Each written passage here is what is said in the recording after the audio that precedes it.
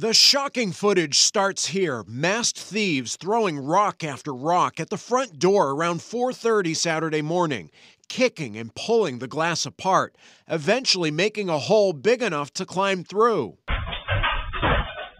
Inside, they use bolt cutters to cut cables and steal four dirt bikes pretty brazen. They were obviously prepared. The six suspects, described by police as young men, late teens to early 20s, run out of Nault's Power Sports in Windham with the bikes.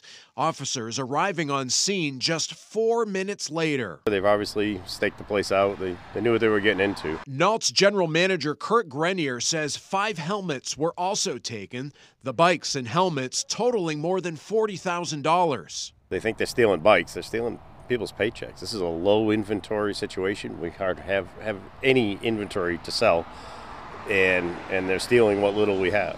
It's the second time Nault's has been targeted in less than a year. We hit a second time.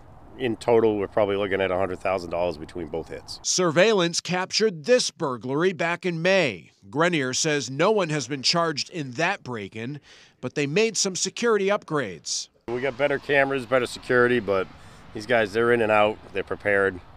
You know, they know what they want when they get here. They're on a mission. Now Grenier is on his own mission to figure out who's responsible, saying he's not alone. They've hit every dealer that I'm aware of from the Connecticut border all the way up to Maine. Grenier says if you see a dirt bike that looks out of place, it probably is and call police. He's now offering a $10,000 reward for information that leads to an arrest and conviction.